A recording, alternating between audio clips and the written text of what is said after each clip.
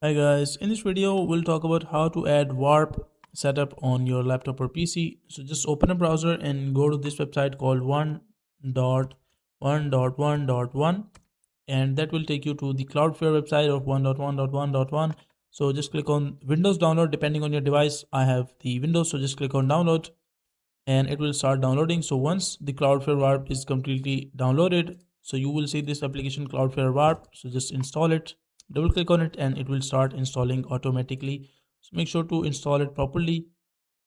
And once it is installed so just click on this uh, finish button. And once you click on finish that will be automatically running inside the background. As you can see right now it is black which means that it is uh, turned off.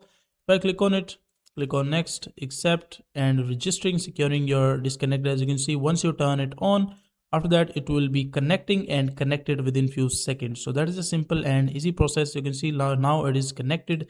So that is a simple and easy process of how you can uh, let's say connect to the cloudflare warp inside your laptop or pc and fix that issue. So that is a simple and easy process of how you can do it